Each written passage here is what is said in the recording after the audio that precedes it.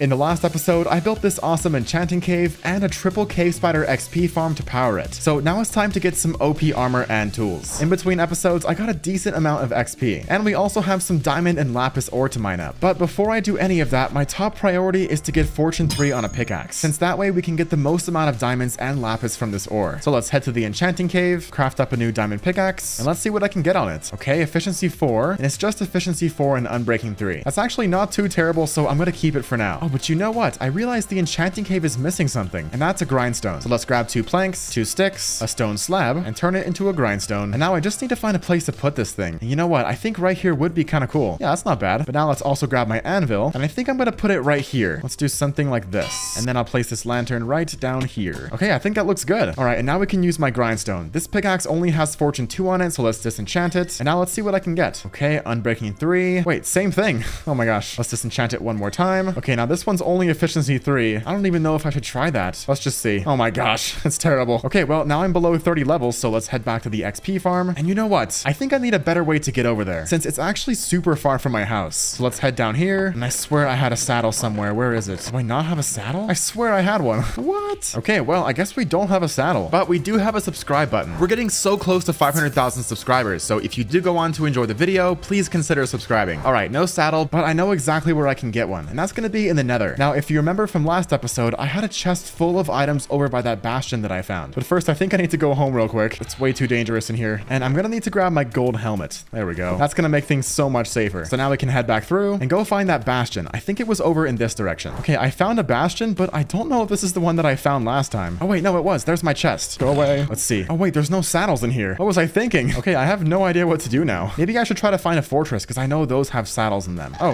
hello, friend. There we go. And look at this. I've come across a fortress. Now let's see if I can find a saddle in here. Okay, more diamonds. That's always nice. A wither skeleton. Hello, friend. Okay, one more chest. Still no saddle. Oh my gosh. Okay, this one's gonna have a saddle. I'm calling it. It did. Okay, look at that. Finally. Let's get out of here as soon as possible. I do not want to be here right now. Let's run all the way back up here. Oh, hello. We'll kill this guy. Oh, our first blaze rod. Look at that. And I think I came from here, right? I don't know. Oh, another chest. Wait, I want to see what's in here first. More saddles. Look at that. And diamond horse armor. And more diamonds. Okay, that was definitely worth it. But over here is where I came from, so let's head back home. I think I'm just to dig in a straight line till I get to zero zero. Oh my gosh. Look at this. I can't... What? I can't believe I just found this on accident. And look, I'm at Y67. That is so rare for up here. And it's two of them? What? I can't believe I just found some ancient debris. This has actually been a pretty good nether trip so far. But let's keep mining back home. Okay, I'm finally back home. Now I'm to head over towards spawn and then over to this plains biome. And look at that. That's exactly what I'm looking for. Okay, there's actually tons of them over here. And let's try this one first. And now let's put a saddle on him. Let's see. Okay, this seems fairly quick. But the real question is how high can he jump? Let's see if he can jump two blocks. Okay, he can. What about three blocks? Okay, he can't do three blocks. But I don't even know if horses can do three blocks. So I think this is a pretty good start. Let's take the saddle from this guy. Now let's try this one next for comparison.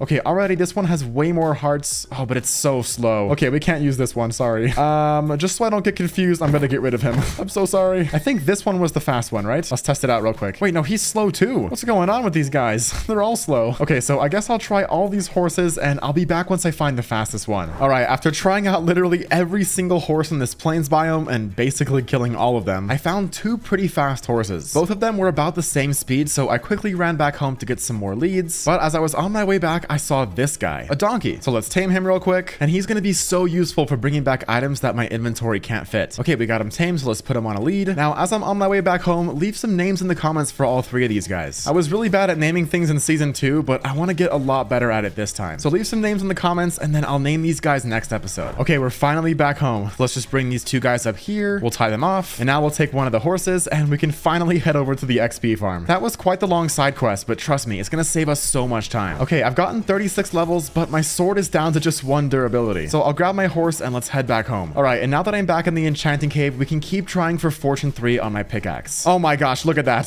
First try. Let's see. And it also has efficiency 4 and unbreaking 3. That is amazing. So if I combine it with this one, then I'll have a maxed out fortune 3 pickaxe. But we still have some more levels, so let's go grab some sticks, craft up a new sword, and try for some enchantments on this. Let's see here. Okay, sharpness 3, and it's just sharpness 3. Okay, it could be worse, but we're just down to 30 levels. I only have one more enchantment left. So maybe let's try my boots. Okay, Depth Strider, that's pretty good. And look at that. Oh, but it's blast protection. Let's just keep it for now and we might be able to get rid of it. But I'm already below 30 levels once again, so let's grab my horse and we'll head back to the XP farm. Oh, wait, hold on. I forgot the whole reason why I wanted to get Fortune 3, and that was to mine up these diamonds. So let's grab my Fortune 3 pick. Oh, wait, hold on. We need to combine it first. I keep forgetting so many things this episode. So let's quickly head over to my anvil and then we'll combine these two. 13 levels. Oh my gosh. But it's a maxed out pickaxe, so it's worth it. All right, let's hop back on my horse, head over to these diamonds, and let's see. We're starting with 24. And let's see how many diamonds 5 can get me. And we got 34. Okay, so we doubled our diamonds. I got 10 from 5 ore. That's honestly not too bad. And I know stone diamond ore is kind of rare, so I'm just gonna keep it for now. Oh, and look at this. I have diamond horse armor. I totally forgot. Let's put that on my horse. And look at that. Both of us are full diamond now. You know it would be cool if you could turn diamond horse armor into netherite horse armor. That'd probably be super useless, but I feel like that'd be a cool flex. Okay, I'm back at the XP farm, and this time, since I have a fully healed up diamond sword, I'll be able to get a lot more XP. So let's get to work. All right, I'm all out of levels now, but I managed to get Sweeping Edge 3 and Bane of Arthropods 4, which is honestly not too terrible since I'm using that Cave Spider XP farm. But once again, we're gonna have to take my horse and go get some more levels. Okay, I just made it to the XP farm, and let's try out this Bane of Arthropods.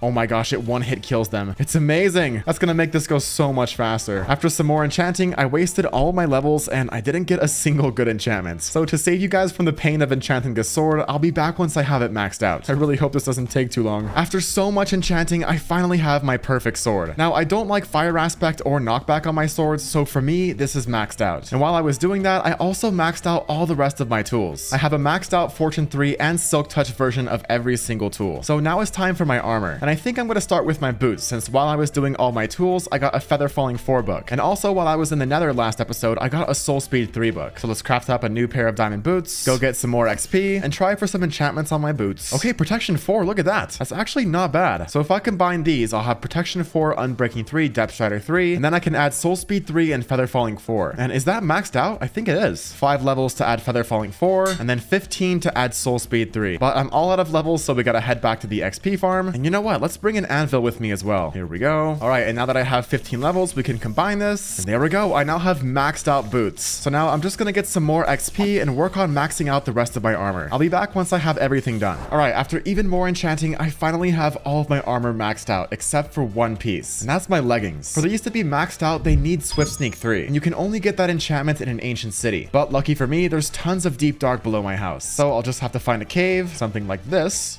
Oh my gosh, Feather Falling Forward just saved me. And now we just have to hope to stumble across some deep dark. I think it's only a matter of time before we find some. Okay, I found some more deep dark, and this time there's shriekers. I'm not sure if that means I'm getting closer, but it definitely makes things a lot scarier. Wait, hold on. Okay, I found an ancient city. Okay, so I guess it does mean we're getting closer. Now, how am I gonna get down here? I do have Feather Falling 4 now, so I should be able just to go like this.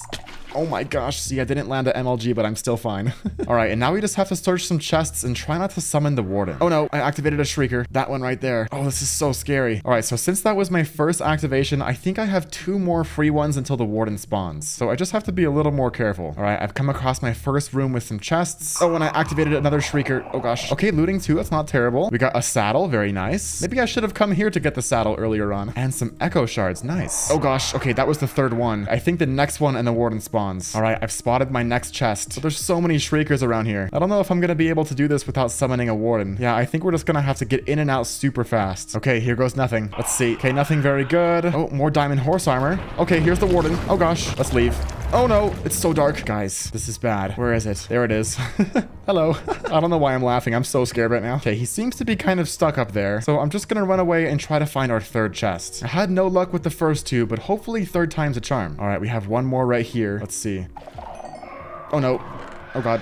Oh my god, an enchanted golden apple. Okay, let's run away. And look at that, we have another chest. Two more god apples? Oh my gosh. And a ward armor trim. But speaking of ward armor trim, we have our third warden spawning. Okay, I just heard one warden despawn. And I'm coming up to another chest. Let's see what's inside. Swift Sneak 2. Okay, that's not terrible. If I find one more of these, then we can just combine them. Okay, there should be two more chests up here. But there's five shriekers. Oh my gosh. Okay, we're gonna have to loot these super fast. And here we go.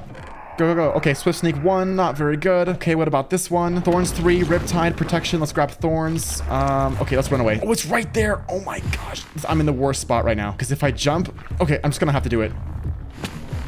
Oh, it heard that. Please don't get mad at me. It's making the angry sounds. That was not smart at all. Okay, I think we should be okay over here now. Okay, there he is. Ah, this is terrifying. Okay, we have a chest right here, and we also have a shrieker. Let's see. Okay, we're good. I'm so scared. Swift Sneak 1 again. Wait, I think we're good. Look at that. I have two Swift Sneak 1s. If we combine them, then I'll have Swift Sneak 2. And then I already have a Swift Sneak 2. So if we combine those, then I'll get Swift Sneak 3. Oh, and we have Otherside. I didn't even notice that. All right, and now that I have everything I came for, I just have to make my way out of here without summoning any more wardens. I think in total, I summoned about eight of them. And thankfully, we only had one close encounter, and it wasn't that terrible. So let's mine my way up here now. Okay, and here we go. I found the surface. So now I can make my way back home, combine all these books. All right, Swift Sneak 2, and then two two Swift Sneak 2 books makes Swift Sneak 3. Let's see, how much will it cost to add to my leggings? 15 levels, okay. Well, I only have 4, so we're gonna have to go get my horse, get some more levels, and then add Swift Sneak 3 onto my leggings. And there we go, fully maxed out armor and tools. But technically, they actually aren't fully maxed out, since on all of my armor and tools, I'm missing one enchantment, and that's Mending. Now, the easiest way to get Mending is through a Librarian villager, so it's time to get some villagers. I don't think there's any villages even kind of close to my house, so I'm gonna have to find a different way to get villagers. And that plan is going to be to find a zombie villager and cure it. Now, lucky for me, in the nether earlier this episode, I got a blaze rod. Oh wait, but I'm going to need two of them. One to make the brewing stand and the other one to power it. Okay, so first we have to go back to the nether, which will be a lot safer now that I have maxed out armor. And we need to find that fortress that I found earlier this episode. Okay, and here it is. Wither skeleton. Uh, ooh, now that I have looting 3, I might be able to get some skulls on accident. But I'm here for just one thing, and that's blaze rods. Oh, I already have seven? What? I only killed two of them. Okay, well, that's all I need, so let's head home. I don't want to spend any more time that I have to in here. And look at this. Swift Sneak 3 is amazing. I totally forgot how awesome this enchantment is. All right, I've made it back home. Now we can craft up a brewing stand, and then we'll use one more blaze rod to get some blaze powder to power this thing. And now we'll make some bottles, fill them up with water, grab a spider eye, one piece of sugar, and now the last thing I need is a brown mushroom. And I don't seem to have any, so we're gonna have to go back to the nether one more time. And look at that, all the way over here, I found some brown mushrooms. If I drop from all the way up here, will I be okay? I don't know, let's just test it out. Oh, only two hearts? What? Feather Falling 4 is insane. And look at that, our brown mushrooms. Oh, and there's a friend guarding it. Hello, go away. All right, let's gather all these up, and now we can head back home. All right, now that I have this brown mushroom, I can craft up a fermented spider eye. We can then throw it into here, along with my glass bottles. And this should craft us a weakness potion. There we go. And now I'm just gonna need one gunpowder to craft a splash potion. And then I already have a golden apple, so that's everything we need to cure a zombie villager. And this is perfect timing too, because it just became nighttime. So I guess I'll just run around down here until I eventually find one. All right, it's actually been a few nights since I haven't been getting very lucky, but look what I found over here. A zombie villager and also some regular zombies. Go away. So let's try to bring this guy closer to my house. Now what do I do? I guess I'll just splash him and then I'll give him a golden apple. There we go.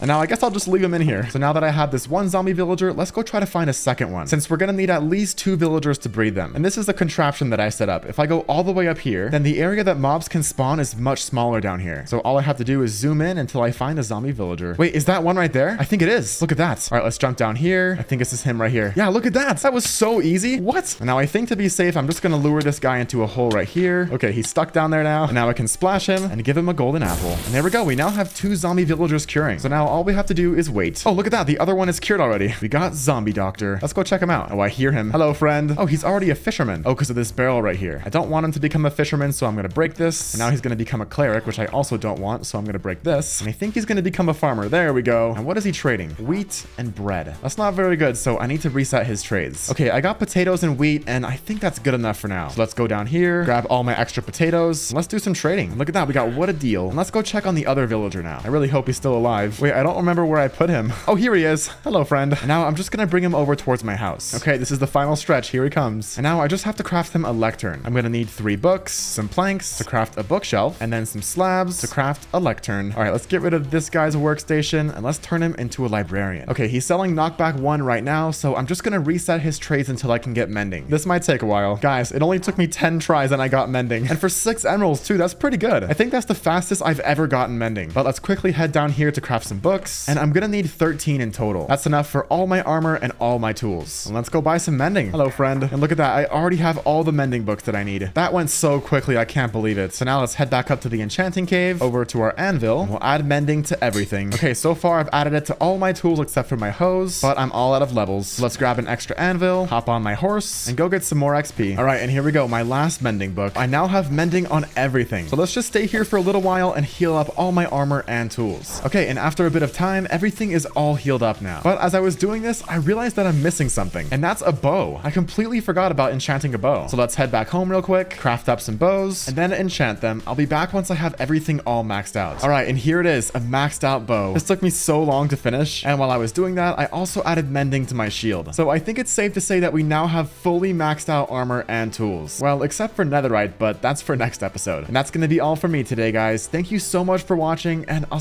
see you all in the next video. Bye-bye!